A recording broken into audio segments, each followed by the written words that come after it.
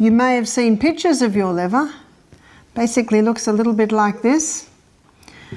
And your liver, as the project manager, determines what and how waste comes out of your body. And your liver, as your project manager, also has jurisdiction over everything that comes into the body. So let's first of all look at food. Never in the history of mankind have human beings eaten so many carbohydrates. What are carbohydrates? Let's make an assessment here.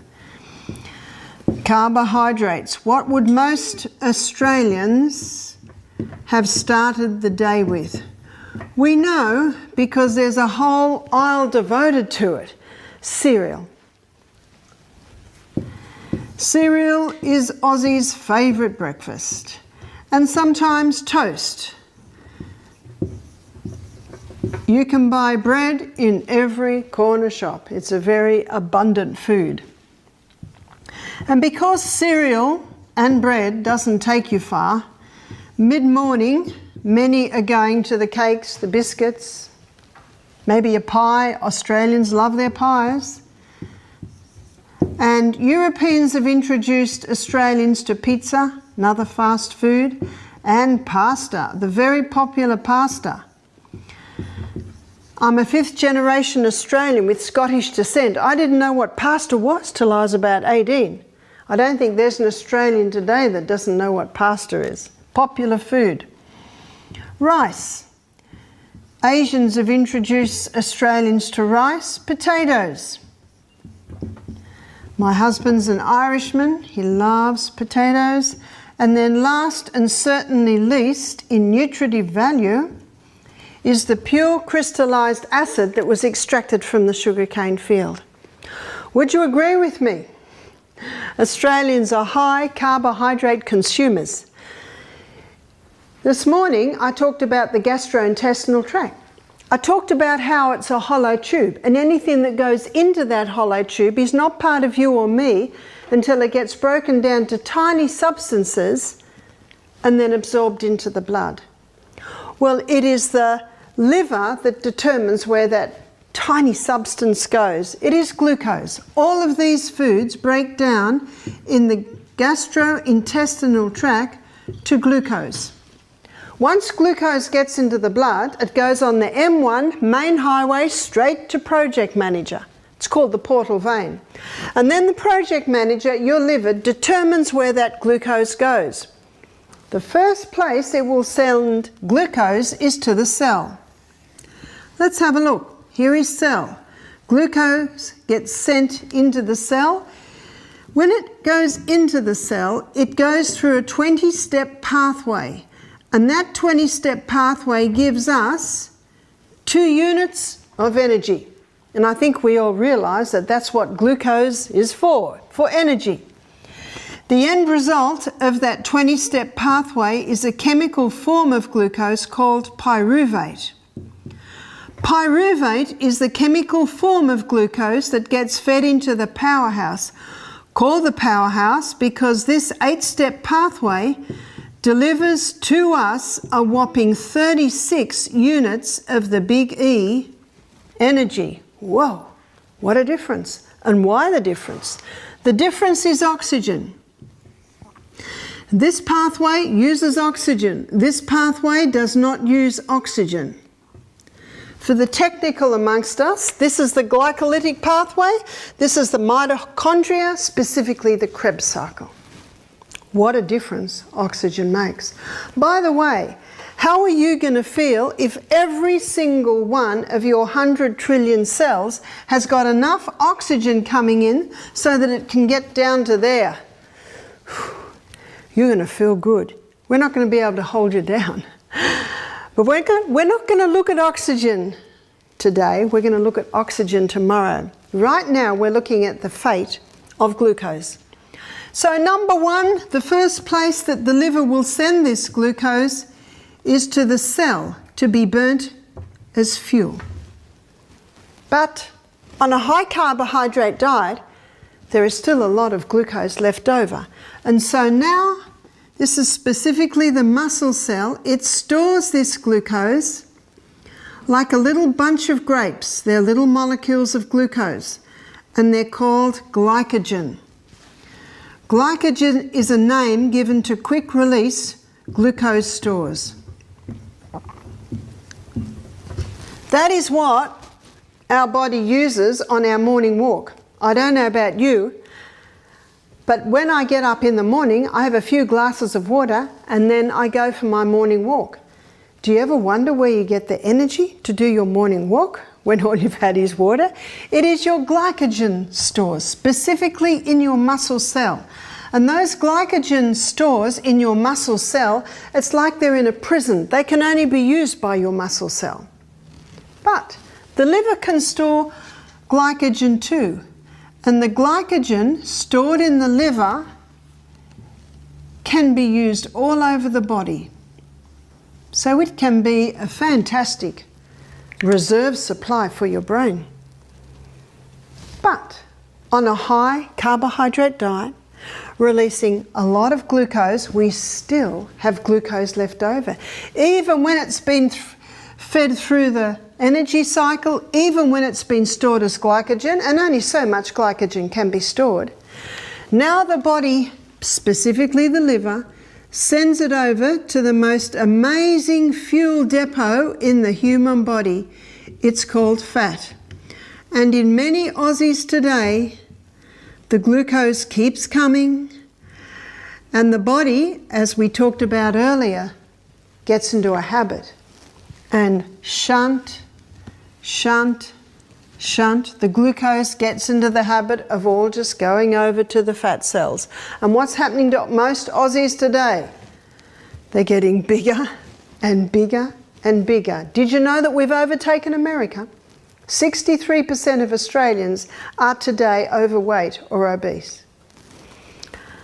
So, this is the third place that the liver sends the glucose to be stored as fat. This is a fact many do not realise. It was only about oh, six months ago, Time magazine, front page of Time magazine, it said, Butter, why we were wrong on the fat. And a recent Catalyst show said its title was Fat or Fiction. It is starting to be acknowledged what I'm showing you today. That fat's not the problem. The problem is this high carbohydrate diet that many Aussies are consuming is being stored as copious amounts of fat. And often, when people want to lose weight, they stop the fat. But the fat's not the problem. The problem is this high carbohydrate diet, forcing the body to store the excess as fat stores. And so, what happens now is the person's getting big, and it could be like a man I met about a year ago who told me that he went to his doctor and his doctor said, You're overweight, your blood pressure's too high, your cholesterol levels are too high, your blood pressure's going too high, you're going to have to go on some medication. He said, Just, just let me. Um, just let me see what I can do first. And the doctor said, Okay, I suggest you stop all fat in your diet. He went home. He was only having a little bit of fat. He stopped the fat. And when the fat stops, the person gets hungry. And so they eat a lot of carbohydrate. That's what usually happens because that's one of the roles of fat in digestion is to give the feeling of satiation or satisfaction. He said three months later he went back to the doctor, he'd lost one kilo. What does that mean when you're 150 kilos? Not much. doctor said, no, no, no, we're going to have to put you on medication. Lee said, nah, give me, give me another try. He said, I'm a business analyst, and if something doesn't work, you don't keep doing it. He said, So I went home and did a Google search. I came up with the paleo diet. I came up with the gap diet. I came up with grain brain. I came up with bodybuilding.com. He said, I came up with the FODMAP diet. I came up with Atkins diet. And he said, What got me about all of these authors majority of them doctors, with many years of clinical practice up their sleeve, they're all saying the same thing. And what does the proverb say? In a multitude of counsellors, there is safety. They are all saying that the problem's not the fat, the problem is the carbohydrates. So he said to me, I thought, what have I got to lose? So he said, I decided to try it. It sounded a bit extreme, but he said, I, I had nowhere else to go. So he said, I dropped all my carbohydrates. No grain. No grain at all. Majority of these are grain. And he said, I dropped the potatoes. He said, I had a food program that was high in fibre. Where's he getting all his fibre from? Vegetables, with the exclusion of the potato. He said, I had a lot of vegetables. He said, I also had quite a substantial amount of protein. Where was he getting his protein from? He was getting his protein from meat, eggs, cheese, butter. He said, I was also having, as you can imagine, quite generous amounts of fat in the butter, in the cheese, in the cream, in the eggs. He said, the weight just fell off me. He said, I got quite excited.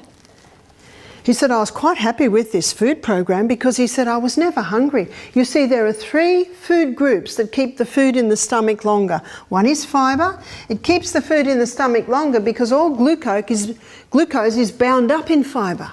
And fibre slowly releases the glucose. And that's what we want to keep us going between meals.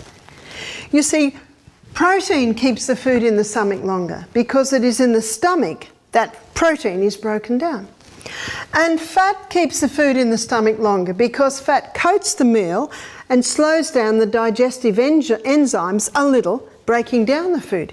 He said, I was never hungry. The weight just fell off me. He said, I had heaps of energy. You see, if you are not giving this quick energy release carbohydrates to the body, the liver specifically can break down your fat stores to give you glucose, and it has the ability to break down protein and fat to give you glucose if there's nothing else. It's called gluconeogenesis, producing new glucose from the stores. He said, I went back to the doctor six months later.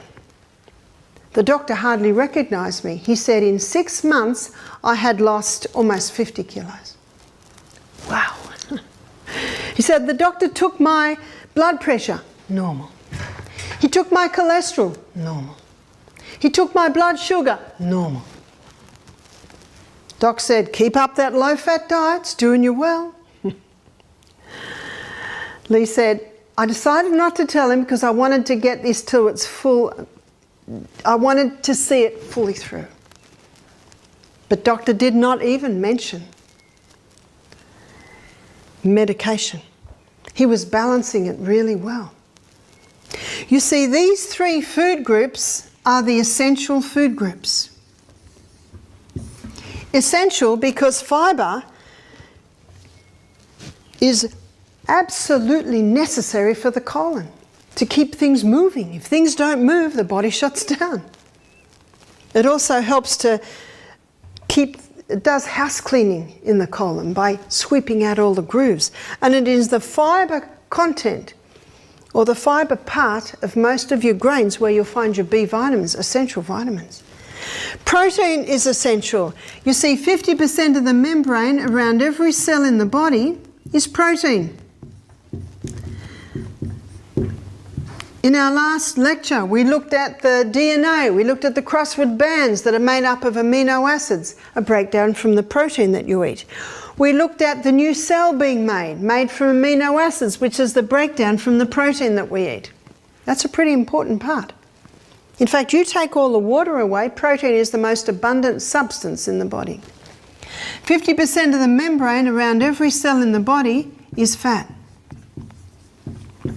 Fat is an essential nutrient.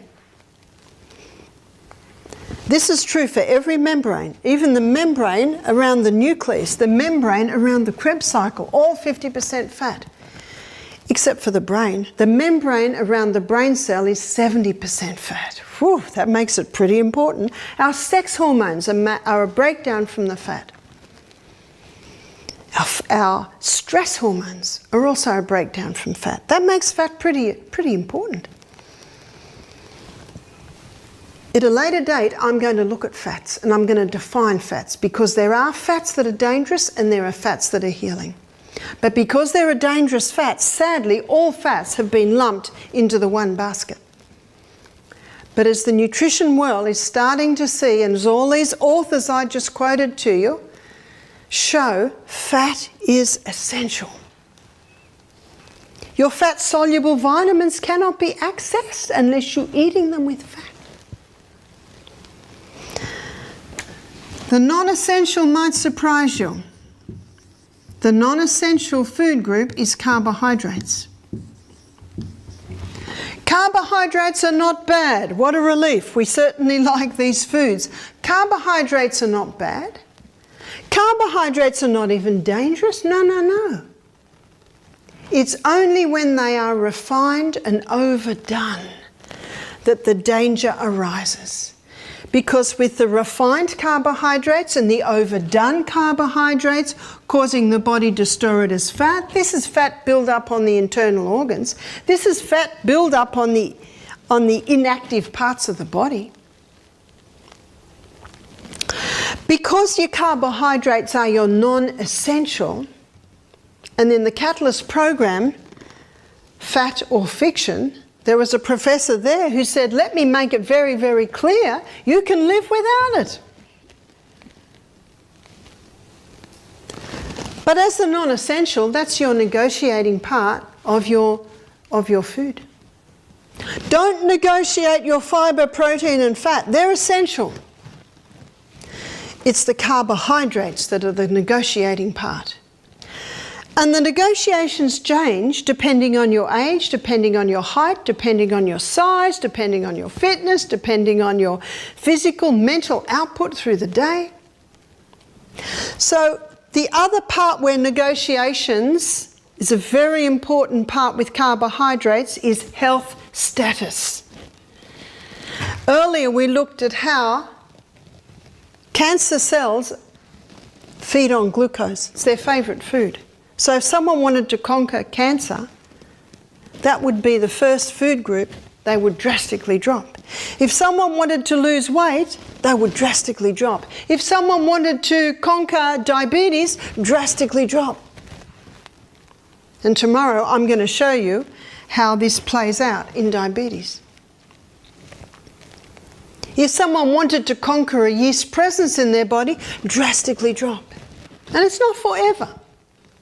I've seen many people drastically drop it, get a turnaround in their cancer, and then little by little start to implement it again. It's not forever. It's just for a period of time to get a certain result out of the body. Now, with Lee, I did mention his protein was from animal sources and his fat from, was from animal sources.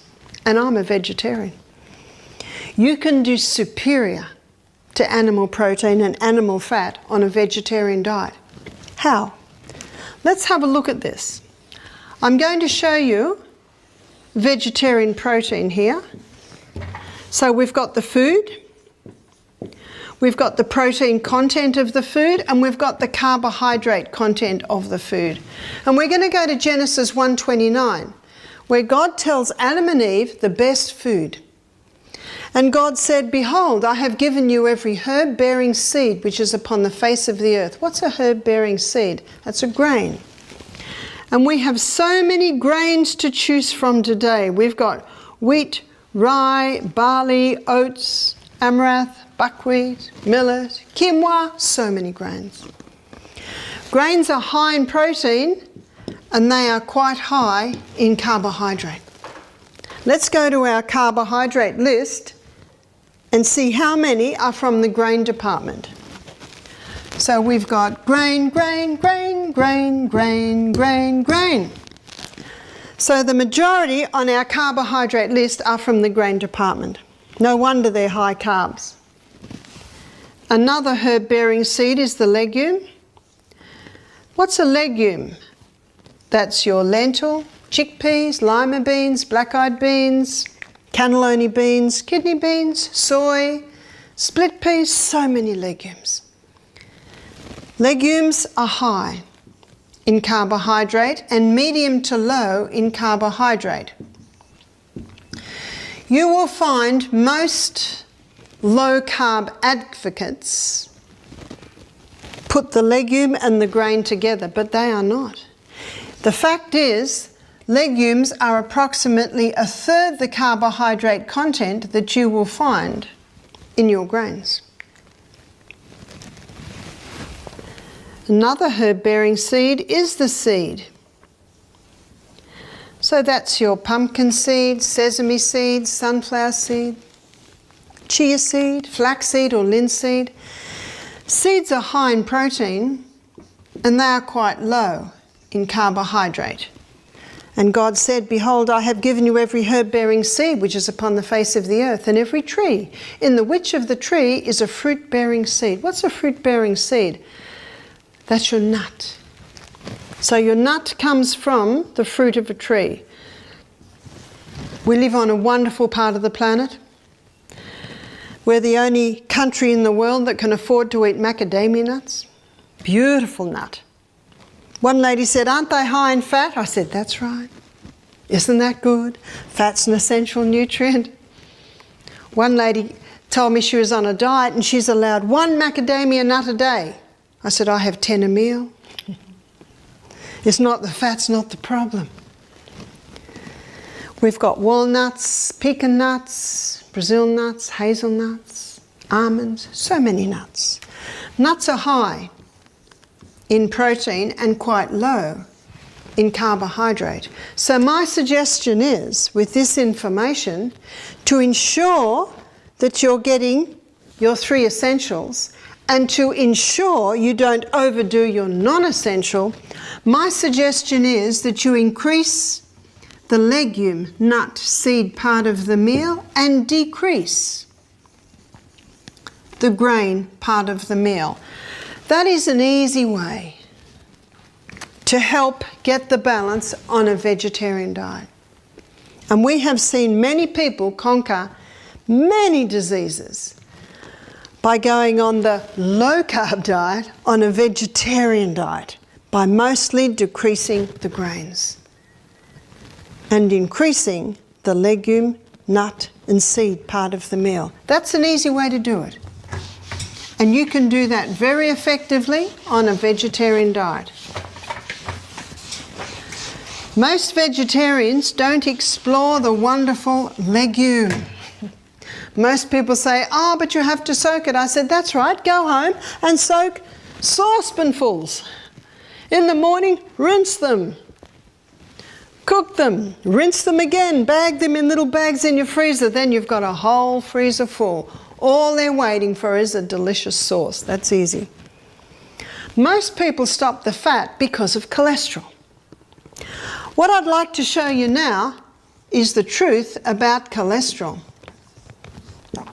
Cholesterol is made by the liver, and 80% of the cholesterol that the liver makes is made from glucose, and 20% of the cholesterol that the liver makes is made from fat.